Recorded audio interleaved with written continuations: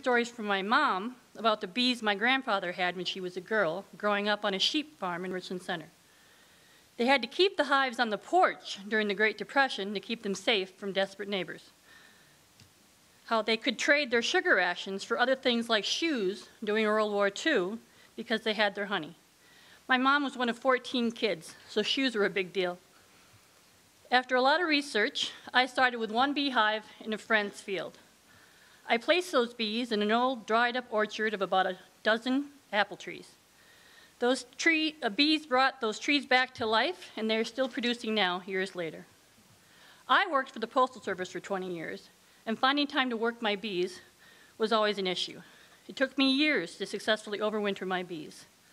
I understand how important it is to keep trying, even though it is very discouraging when you lose your bees every year. I eventually moved my beekeeping into our yard. Bees, chickens, big garden, the whole deal. I was only ever a hobbyist beekeeper, and the most I ever had at one time was two colonies. In 2017, we semi-retired, sold everything, including my bee equipment, and moved to Florida for a couple of years. While we were there, I noticed the state of Florida had bee inspectors on their state job site. I'm like, how do you get that job? Beekeeping is hot work, and I didn't want to mess with the Florida heat. I was a letter carrier my last five years at the Postal Service, so I understood fully how hot working outside can get. We moved back to Wisconsin in 2019 to help family, and my daughter wanted to finish high school here.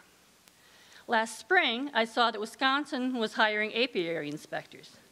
I only had one entomology course, but I do have a bachelor's degree in anthropology from UW-Madison. I was hesitant to apply without any other coursework in bee sciences, but at least I was an experienced beekeeper. I applied anyway.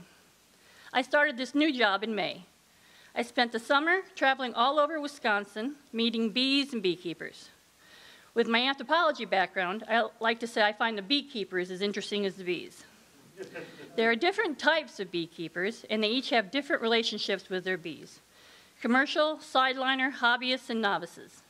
I try to understand what each person is trying to get from their bees so I un can understand where I can be of benefit. Pollination, selling honey, selling bees, citizen scientists, or pampered pets. How can I be an asset to each beekeeper? We all need to work together to promote bee health.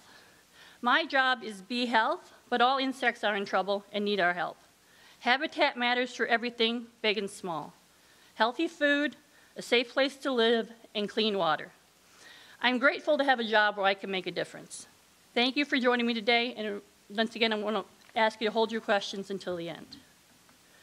The apiary program is one of the oldest programs in the Ag Department, dating back to the 1890s.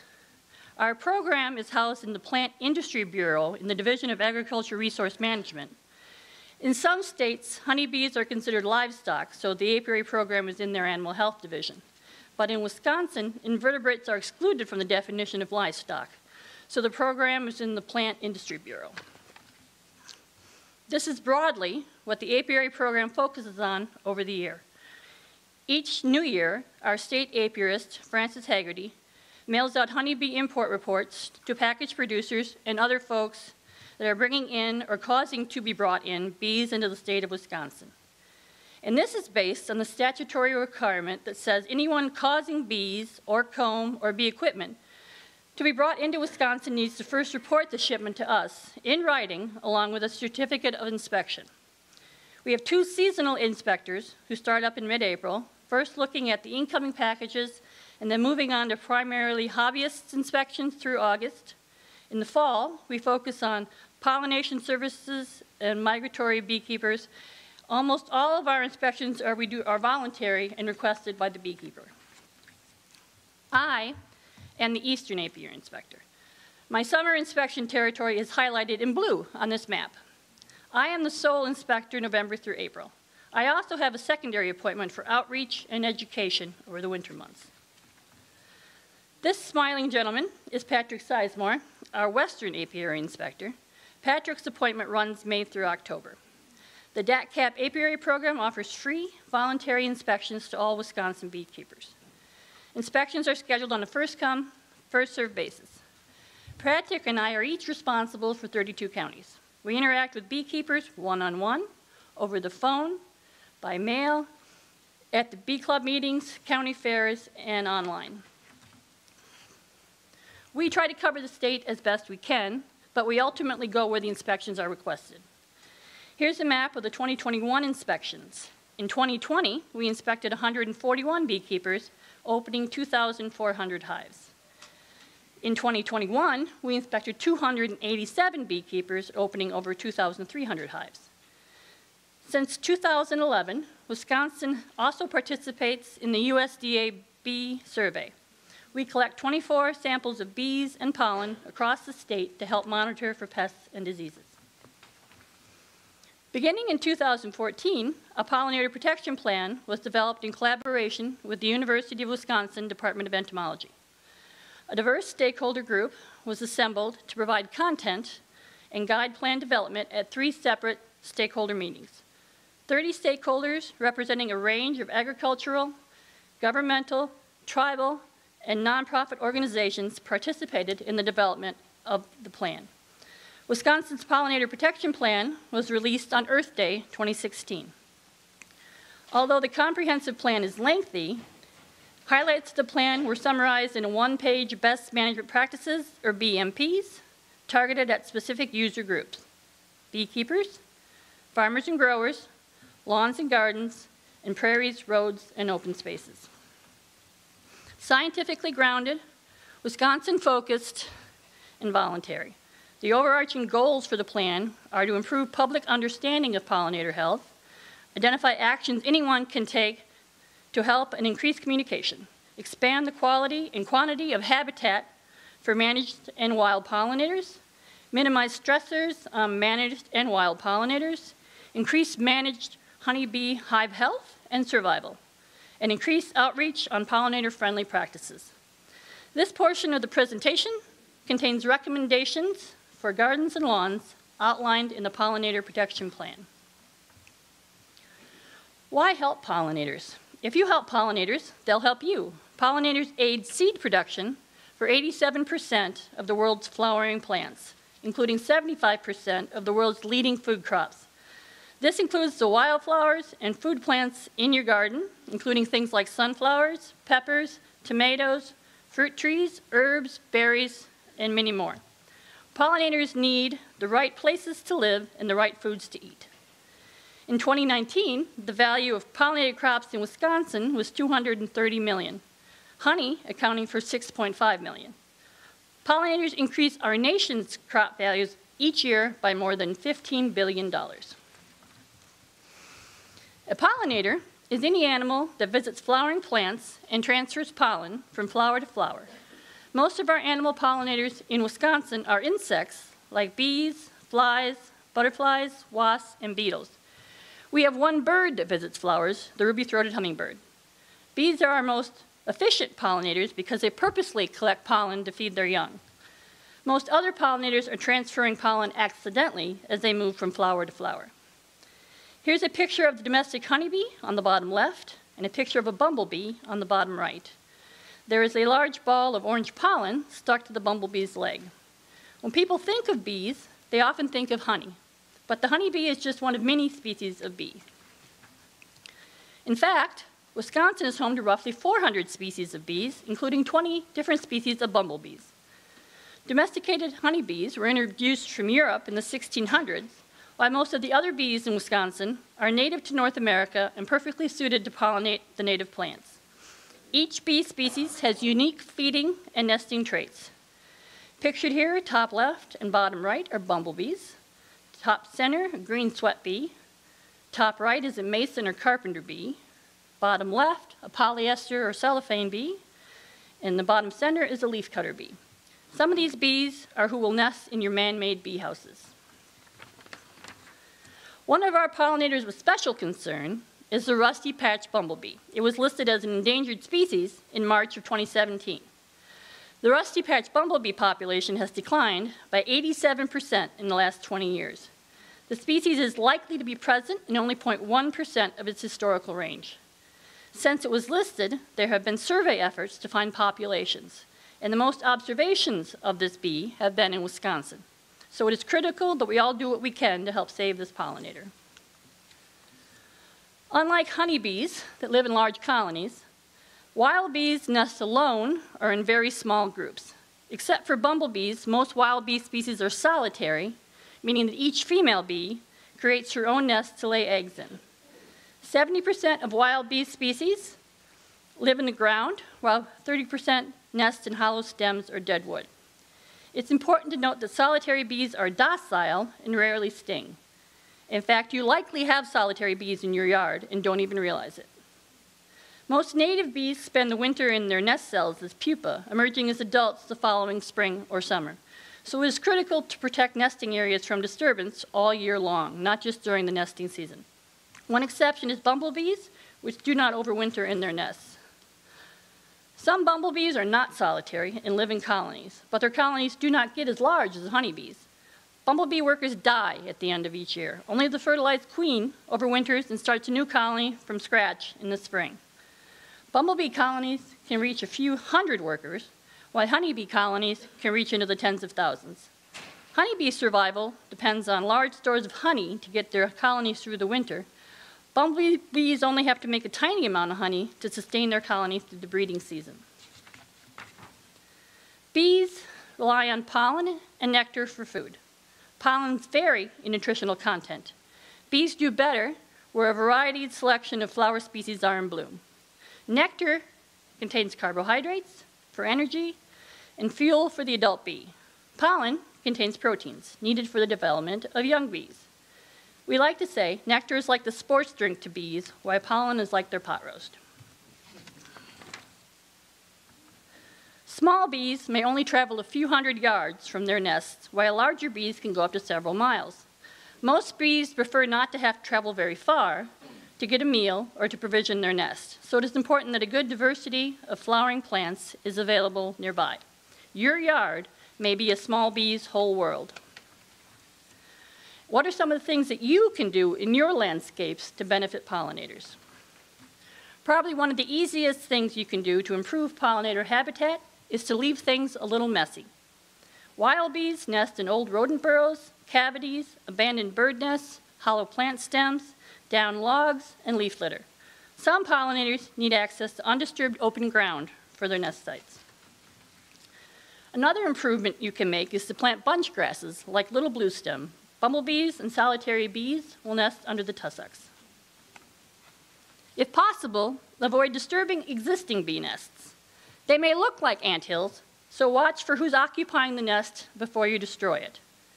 Even predatory wasps can be beneficial as long as their nests are not in high traffic areas. They like to go after the garden pests that you'll find chewing on your vegetable plants. We recommend you use caution with homemade or store-bought bee houses. They can harbor pathogens if not properly maintained and may be colonized by wasps and other insects. The Xerces Society provides guidelines for creating homemade bee nests on their website. Choose plants that are suited to your geographic region, soil, and climate conditions. Include flowering plants native to your area. Native plants tend to attract and support more pollinators and are usually lower maintenance. Many pollinators are plant specialists and will only be found where their preferred host plants are present. The Xerces Society and the Pollinator Partnership have regional planting guides for flowers that bloom throughout the spring, summer, and fall. Many native insects only reproduce on their one special native plant. Avoid flower varieties that are double flowered or otherwise highly modified by breeding. These flowers often have little pollen or nectar and are difficult for bees to navigate. Pollen production and nectar are often bred out of these flowers, leaving them useless to most pollinators. Many gardeners want to see butterflies in their yard.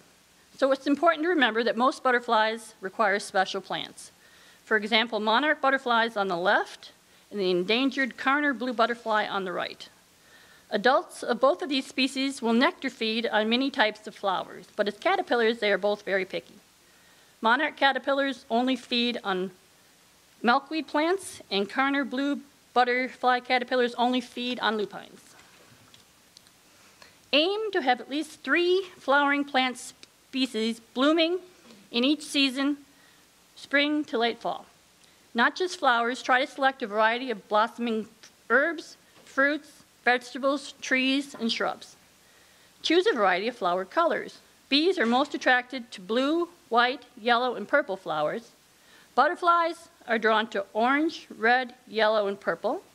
Flower flies prefer white and yellow, and hummingbirds are particularly attracted to red. And let your herb garden bloom. Pollinators love flowering mint, lavender, basil, oregano, garlic, chives, and parsley. And don't be afraid to let dandelions, clover, and other flowering plants like creeping Charlie bloom in your lawn. These plants provide an important food source when most other plants aren't flowering yet, and the bees will thank you. Before applying chemicals to your lawn, mow to remove clover or dandelion blooms that might attract pollinators. This will help limit direct contact. By the time the clover or dandelions grow back, there should be fewer chemicals present in the pollen and nectar. Before applying any pesticide, whether they're insecticides, fungicides, or herbicides, assess the damage and identify pests. The University of Wisconsin Plant Disease Diagnostic Clinic has resources to help you identify pests and determine if action is warranted. Pay attention to pesticide labels that say highly toxic to bees, toxic to bees, or extended residual toxicity.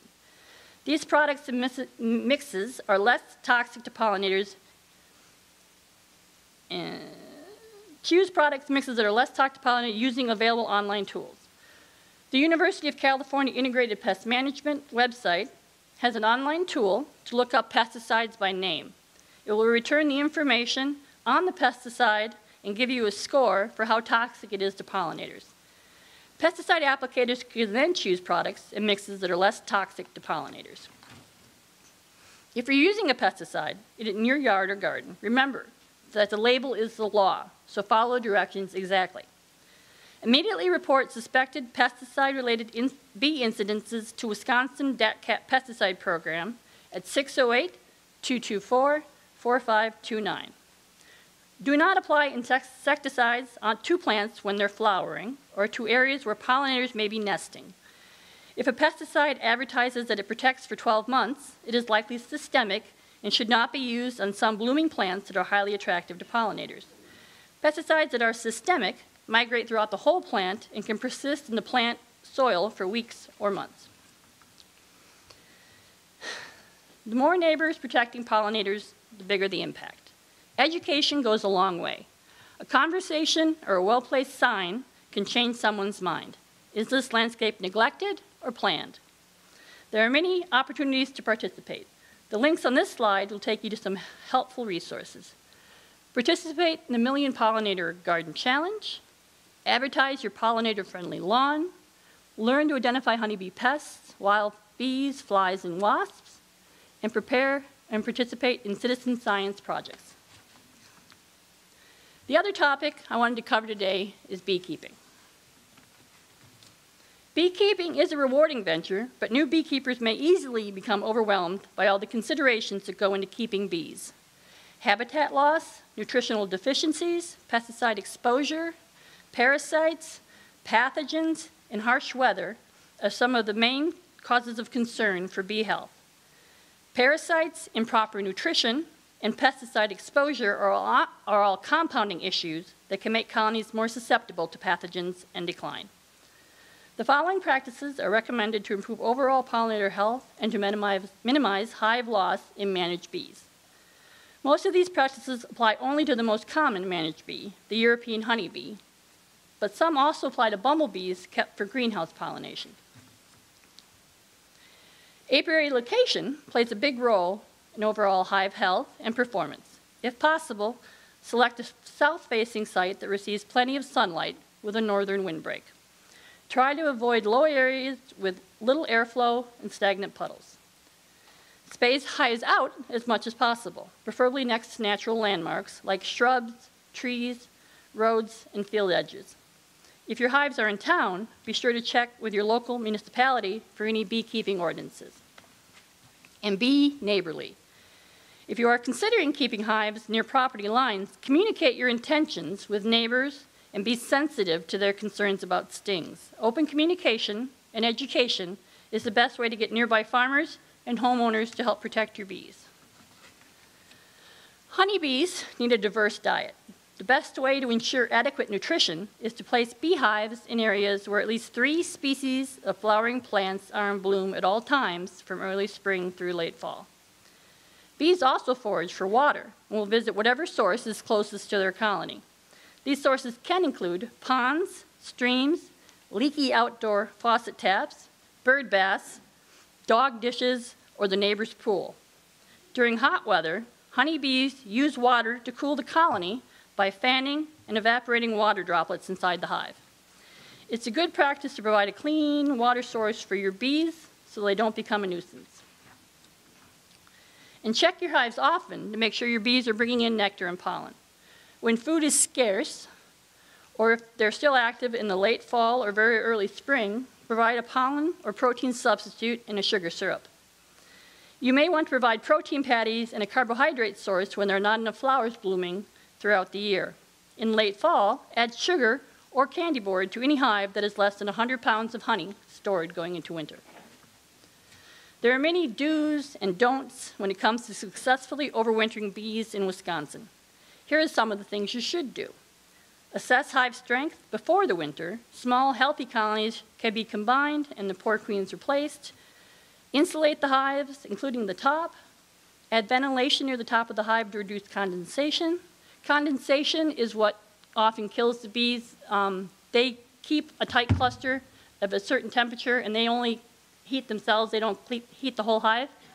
And that creates moisture. And if that rises up, collects on the top of the hive and condensates back on them, that moisture prevents them from being able to maintain that temperature and that often they'll freeze to death. We also recommend an entrance reducer or a mouse guard at hive entrances in the fall. And keep hives behind a windbreak or move them inside a shed or a barn for winter. The University of Minnesota Bee Lab has an excellent manual titled Beekeeping in Northern Climates, outlining how to successfully overwinter hives in our conditions. Pest and disease management is also critical for successful beekeeping. If you aren't regularly inspecting for and managing pests and diseases in your hive, you will lose your bees. Not only that, your hives weakened with pests and pathogens, are susceptible to robbing by other neighboring stronger hives, which can themselves then become infected or infested from your problem hives. Some of the same pests and pathogens can also be transmitted to wild bees. Use a hive inspection sheet to track regular hive health assessments, including mite counts, maintenance activities, treatments, and more. You can purchase hive inspection sheets from bee supply stores find templates online, or create your own. Keeping good notes, it will help you see trends and remember details that you may find relevant at a later date. As you can see in this picture, it was early in the year because my bee suit is definitely not that white anymore. We recommend using integrated pest management, or IPM, to manage honeybee pests and diseases. IPM strategies prioritize preventive solutions to pest problems and decrease the probability of pesticide or antibiotic resistance. It also reduces chemical exposure and contaminants in the hive. It's the responsibility of every beekeeper to be able to recognize symptoms of disease and how to handle and sample colonies for mites and other pests. You can educate yourself by attending bee club meetings, seminars, and workshops, or subscribing to trade journals. Every colony in America currently has, has had, or will have varroa mites. These mites are the number one enemy for bees and are the leading cause of colony death. Varroa mites evolved in Asia on the smaller Asian honeybee. They have spread to all populations of European honeybees except for Australia. The Asian bees can live with these mites. The European honeybee is for the most part defenseless against these mites. Monitoring mite levels at least four times a year will help you to gauge when you need to step in and help your bees manage the mites. And also if your previous, previous management techniques were effective. Pictured here is a mite counting technique called the powdered sugar roll. A half a cup of bees is roughly equal to 300 bees. Nationally, the treatment number is nine mites in 300 bees or 3%. But in Wisconsin, with our harsh winters, we recommend trying to keep your mites under 1% or three mites in 300 bees. The conversation with bee health starts with varroa mites, but it doesn't end there. Varroa mites directly kill and weaken the bees. They are also a vector for honeybee viruses. Viruses that didn't previously have a way to spread far and wide are now showing up in more and more places. Controlling varroa mite levels will also help to keep the virus loads down. The picture on the left is a healthy looking worker bee with a varroa mite on her back. The bee on the right also has varroa mites, but this bee is infected with deformed wing virus. A bee born in this state will never fly and only lives a few days. For videos demonstrating techniques for combating varroa mites, visit the Honeybee Health Coalition website. The Honeybee Health Coalition also has a tool on their website to help you choose treatment options for varroa management. The tool asks you questions about your current weather conditions, your bees, and helps you understand your treatment options. This helps beekeepers make confident, well-informed choices while they're learning, and so they're prepared as they progress. The small hive beetle is a newer pest for Wisconsin beekeepers. Small hive beetles were accidentally introduced into the United States from southern Africa in the 1990s. Maintaining strong hives with prolific queens is the best way to prevent small hive beetles from infesting a hive. Small hive beetles are strong flyers and can fly several miles to detect and infest weaker, smaller colonies. If beetles are found in a hive, act quickly using integrated pest management to control the problem. Small hive beetles do not reproduce well in our environment, so they're more of a problem in southern states. When harvesting honey, do not bring honey supers that have brood, and therefore beetles, into the extracting facility. The beetle larva will defecate in the honey while eating it, ruining the honey for the, both the bees and humans. There are other challenges to bee health. Know what to look for and how to monitor for bacterial foul brood diseases. The mottled appearance of live intermixed with dead, discolored brood cells could indicate a number of ailments, including European or American foul brood.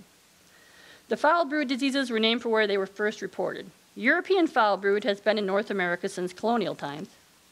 American foul brood was differentiated from European foul brood in the 19th, early 20th century. Foul refers to an unpleasant smell. American foul brood is the most damaging brood disease and is highly contagious among bee colonies.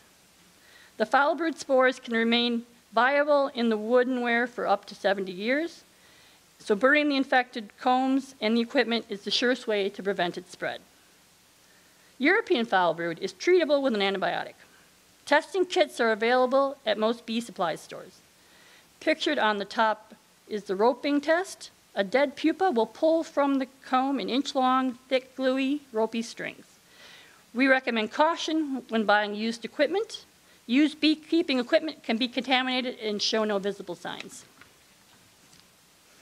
There are viral, fungal, and other pathogens like microsporidians that can affect bees. Many symptoms of ill health in beehives have no direct treatments currently and will usually disappear with good care, good weather, and a strong honey flow. A seasoned beekeeper learns to read the hive, recognize the signs of bee stress, and has several options in mind. Beekeeping is a year-round job, always trying to stay ahead of the problems instead of reacting after the fact.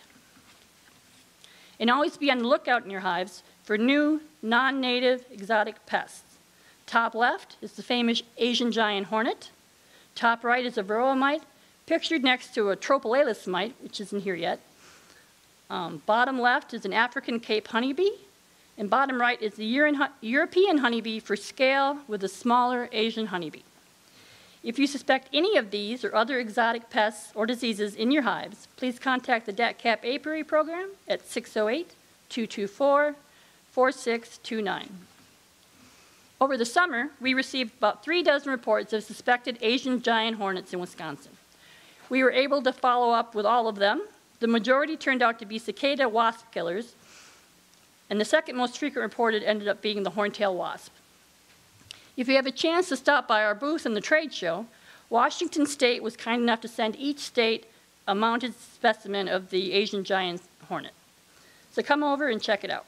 Wisconsin gardeners are the eyes and ears and boots on the ground. If you see anything suspicious, please contact our pest hotline at 866 440 7523. Always remember the label is the law. Miticides are pesticides. Always read and follow label directions exactly before applying any treatments to your colonies. Take all precautions and wear proper protective equipment. Rotate treatments using integrated pest management to reduce the likelihood of pesticide and or antibiotic resistance. We recommend replacing one-third of your old brood comb with new each year. This will help to reduce the buildup of pathogens, pesticides, and antibiotics. As of January 2017, the Veterinary Feed Directive is now in effect. Honeybees are considered livestock. This means that in order to purchase and apply medically important antibiotics to a beehive, a beekeeper will need either a veterinary feed directive order or a prescription from a licensed veterinarian, depending on the treatment required. Beekeepers will need to work with their local vet to establish a veterinary client patient relationship before any orders or prescriptions are issued. We recommend you also register your bees on BeeCheck, an online voluntary commu communication tool that enables beekeepers and pesticide applicators to work together to protect apiary through use of BeeCheck mapping. Pesticide applicators should always check FieldWatch before spraying pesticides. FieldWatch's mission is to develop and provide easy to use, reliable, accurate, and secure online mapping tools intended to enhance communications that promote awareness stewardship activities between crop producers, beekeepers, and pesticide applicators. Migratory beekeepers have additional challenges to keep in mind when transporting bees for pollination services or to southern overwintering locations. Long distance transportation, poor diets, and overwork are stressful for bees. When transporting bees, maintain a consistent temperature, make sure they have adequate ventilation and proper hydration. Feed supplemental carbohydrates, and or protein before and after crop bloom. Always review the regulations for any state that you intend to ship bees into at apiaryinspectors.org.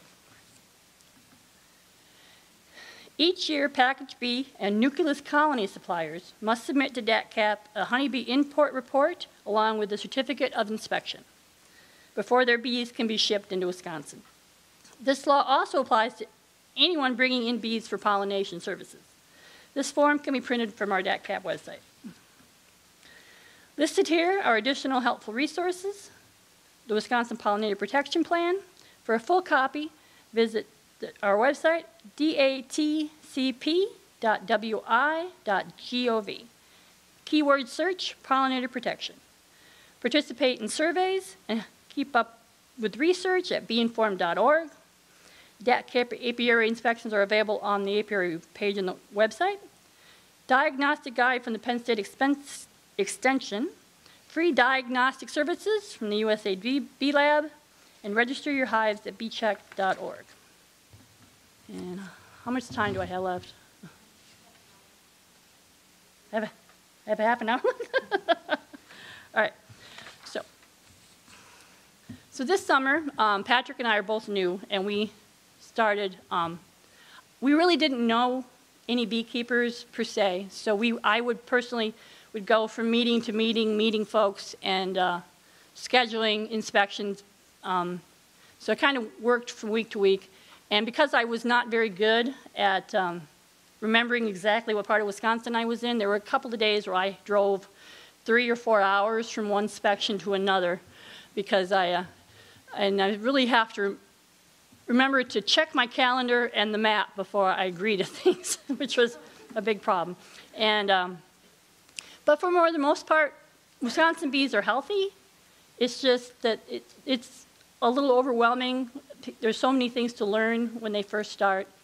And varroa mites are just another insect that can be managed just like managing bees, but when you have so many other things to learn when you're first starting, they, they seem overwhelming and daunting. And some people think that they can not treat and it'll be fine.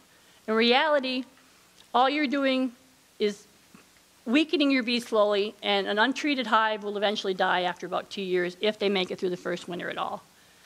And it's kind of like a dog with heartworm or if you're not treating, those bees are suffering. These mites bite through their exoskeleton to feed directly on their insides. So if these, so if you're not treating, your bees are not healthy or happy. And I think if you're going to be a steward for an animal, it's important to take the best care of them you can. And, uh, and some people are really worried about putting chemicals into the hive, so they have created uh, organic acid-based treatments to treat the mites and things for the folks who, who didn't want a synthetic chemical in their honey. And there's been severe testing on these chemicals to make sure that they're safe for human consumption, and there are strict guidelines to the beekeeper about when they can put them on, if there's honey on the hive and if there's not, and those kind of things, so that people can have peace of mind about, so you can still go as organic as possible without putting your bees at risk. Uh, there are a lot of different research projects right now going on about bees. Uh, the interest in pollinators has helped considerably. Um, there was hardly anyone in the bee sciences 20 years ago. Most of the professors who were there then were aging out of the system. And then um, we had the colony collapse disorder, which brought a light to the fact, and people became aware that how everything's connected and we all need to pay attention. And that has brought a lot of interest into the bee sciences. There are a lot of people doing research. Um, some people use bees as their tool for science, and they're doing higher levels of um, research on diseases and how the brain works and things, and the bees are a tool. And some folks, God help those grad students, they literally sit in front of a beehive all summer for three hours a day, counting bees as they go in and out and bless the grad students. They're, they're the backbone of science. and uh, so I really love my job because I get to see bees every day. I missed having bees, and but having bees can be stressful. And if some people really just aren't cut out to be beekeepers, the everyday worry about these little creatures that you've taken responsibility for and you can't just sit outside the beehive and, and know for sure what's going on inside. And God bless those folks. I love it when they do their research and find out ahead of time before they spend all that money and time and effort to learn that maybe beekeeping isn't for them and they haven't killed a couple thousand bees in the process. And for everyone else who, you know, is allergic or terrified of bees, the best thing you can do is plant flowers in your landscapes. As many as you can find that you like. They don't always have to be native. Natives are best for the local native, but any flower that has pollen will help the bees. And a lot of the bees do feed on crop plants and ornamentals in your garden. The idea is, you know, in everything in life, moderation. So, you know, if you really need or want that one beautiful plant that, you know, is from Asia, plant it. But just make sure it's not invasive and that it's not going to spread and damage the environment. And, but what we need to do in this country is kind of replace half of our lawns back to a native wild space so that these animals and these insects have places to travel so it's not an isolated island, but they can travel throughout the landscape and benefit. And I think we'd all benefit from a more natural landscape. And um, anything else? Okay. Oh, my job. Um, so what I do when I go out is, you know, meet each beekeeper. I try to understand what they need. If they have a health concern, then you know we deal with that first. I and then otherwise, I especially like I like to get to the new folks who are really unsure of their beekeeping. And then, of course, I seem like a genius because, you know, I know more than them.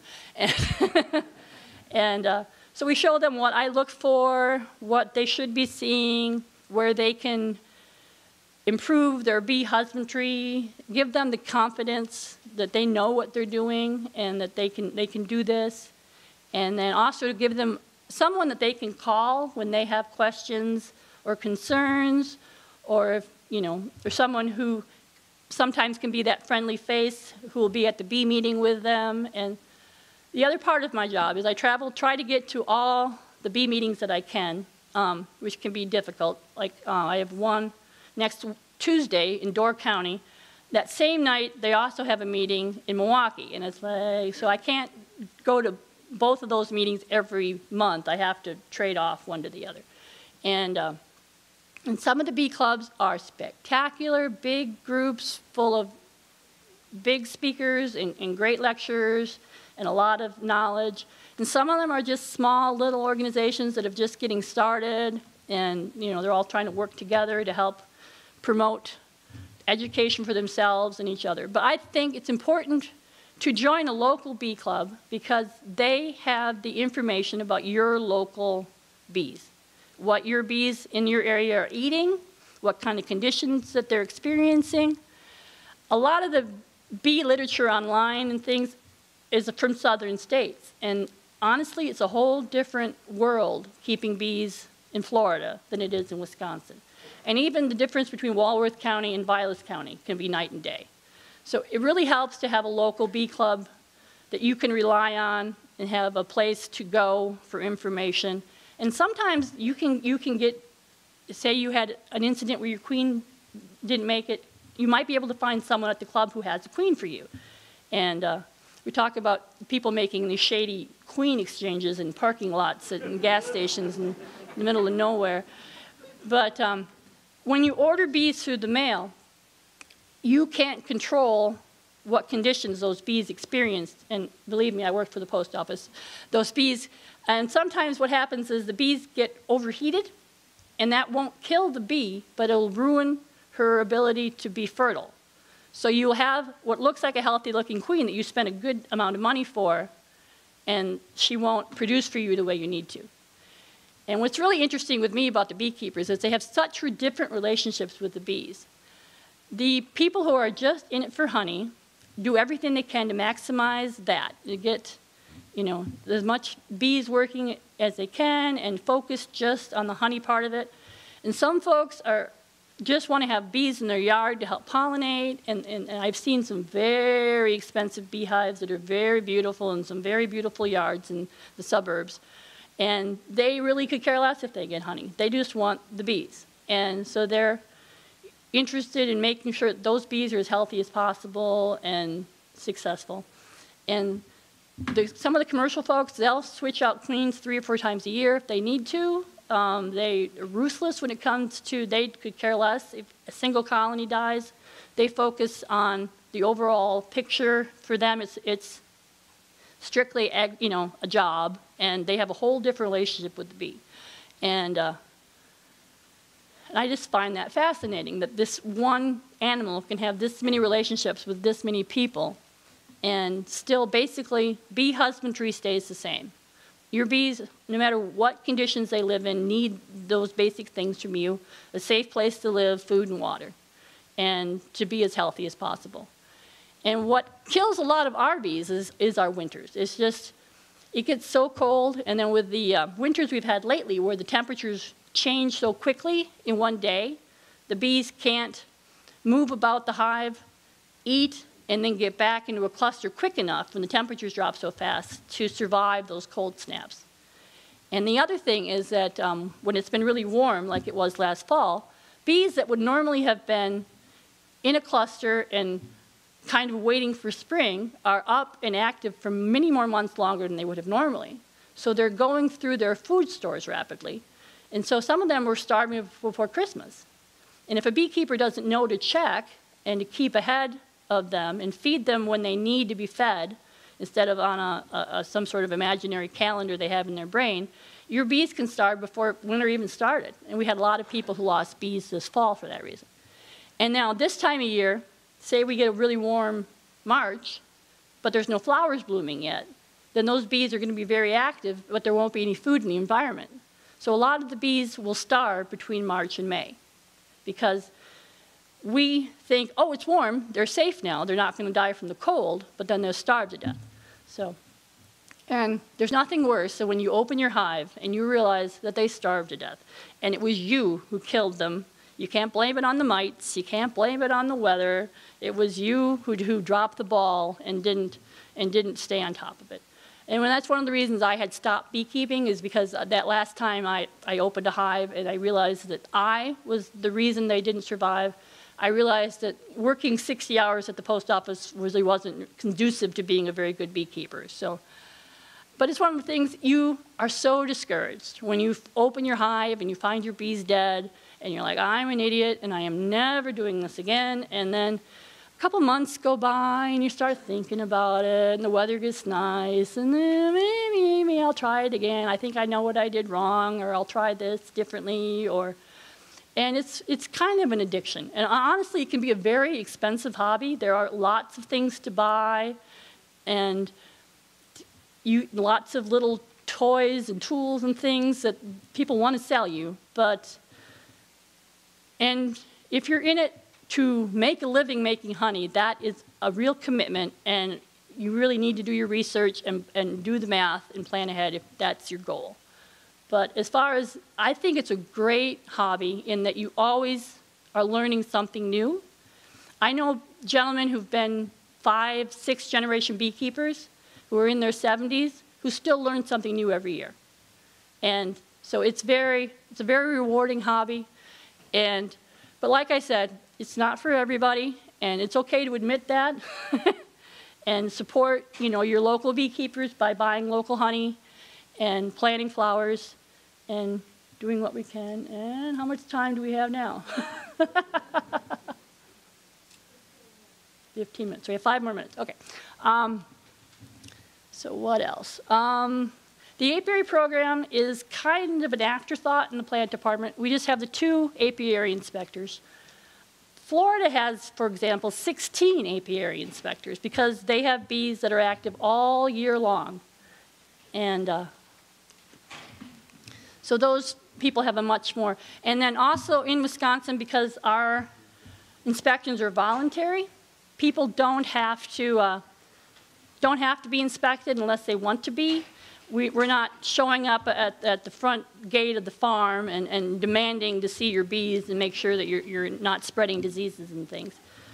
So that I love that part. I, I, think it would be a different job if I had to come and, and, and, you know impose myself upon people who didn't want me on their property, and uh, also probably a little more dangerous. but as far as I get stung almost every day, it's one or two is normal. I have had a couple days where I missed a zipper here or there, and it's amazing how those bees can find that little bitty space, and next thing you know, you have a face full of bees. And uh, this summer, I was um, planning on going on a cruise, and the day before, I've got a hat full of bees, and I'm thinking, oh God, I'm trying to squish them in my hair so they don't sting me in the face so I can go on the airplane without looking like I've been beaten and battered. And uh, and but it's amazing is that it hurts so bad for just a second. Um, sometimes I get a little swelling, but not much. But after a day or two, I barely could tell you I was stung anymore. And and sometimes it itches more like a, a, a mosquito bite than anything else. And that what aggravates me more is sometimes I'll get like an itchy spot that won't stop. But uh, yeah, that first time I had a, a mass full of bees was, was quite shocking. But now I hopefully will remember to zip all my zippers and pay attention. and uh, a lot of folks like to go into their bee yards with as little equipment as possible. I have always been of the opinion that you should go in fully suited up so you're ready to deal with whatever needs to be dealt with. So if you, like if you come across a hive where the queen has died uh, sometimes those bees will be more aggressive, and so what normally were nice docile bees, the one time you go out there without equipment will be all angry. And bees automatically go for your breath and go for your eyes, because if they're fighting something like a bear, those are the two easiest things for them to attack. So they're going to go for your face. So if you're wearing only one piece of equipment, I recommend a veil so that you don't have bees in your eyes. But I have always gone in fully suited up, gloves, the whole shebang, so that I can get in and get out and not disrupt the bees any more than I have to. And uh, we recommend you try to get into your bees like once every two weeks in the summer. Um, it takes 16 days for bee from an egg to go to a queen cell. And so if you're not in there every two weeks, you can sometimes have them starting to swarm and things. And um, if the bees are swarming, they're not making honey. So they're making bees. Um, swarming is not good for the beekeeper, but it's what the bees want to do. It's how they reproduce. So, and they will swarm for like two kinds of reasons. They will swarm because they don't like where they're living, or they, they think they can do better, or they need to do better, or say their, their old queen is getting sick or is, or is, or has died, and then they need to replace her. But also, it, when the weather's good, they swarm as a way of reproducing. So they really want to swarm, and if sometimes people think that they've done something wrong if they're swarming, but no, if, it's a sign that your bees are healthy and they want to spread out and, and, and, and take advantage of the new spring weather so that they can make more bees. And uh, so what's interesting about swarming is when the bees are ready to swarm, they don't want their queen laying eggs. So they'll run her around and stop her from laying eggs and make her lose weight so that when it's time to swarm, she can fly. And when they swarm, the old queen leaves with like two thirds of the bees to go and find a new place, leaving behind eggs and young bees to raise their own new queen and start over. And um, so sometimes you're lucky and you can catch that swarm before it gets very far, or some people put out traps and try to attract other people's swarms. You know, the best bees are freebies. And uh, and we always say if you're, if you're planning on trying to catch a swarm, it's important to have your equipment ready. You know, you already have a hive to move them into and things, so you're not trying to run to Farm and Fleet in the afternoon to buy a hive for the, these bees that you have in your garage or whatever. And, um, but, uh, yeah, it's a fascinating science. And there's lots of resources online. When we do use the internet, I try to stick to university websites or those kind of things, because those folks have a reputation behind what they're telling you. And always be aware if someone's trying to sell you something that they may not be telling you all the details that you need to know about a subject. And um, there's a lot of gentlemen on YouTube who are, are there to show you what they know. They don't really have any interest in you learning anything. They just want you to keep, and that'll be our 40 minutes, I guess. So now I'd like to take any questions.